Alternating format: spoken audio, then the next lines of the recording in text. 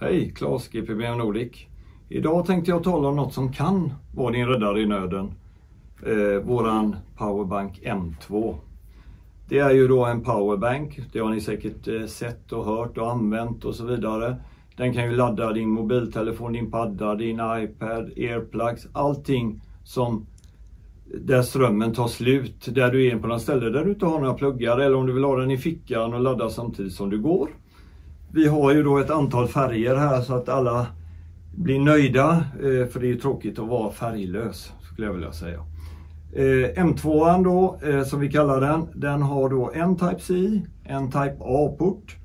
Den har dioder för att visa hur mycket laddning det är och när den laddar. Effekten på denna är 22,5 watt. Det innebär att den klarar alla typer av snabbladdning, vilket är väldigt bra.